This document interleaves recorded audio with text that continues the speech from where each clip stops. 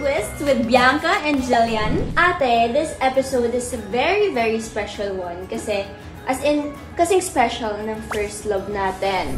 Dessert. Ah! Sorry. May, ilang taon ka ate nung when you had your first love? You? Grade 5. Grade 5. Yung naging first boyfriend ko na yun, na grade 5 pa ako. Hanggang ngayon, binabati niya ako tuwing birthday ko.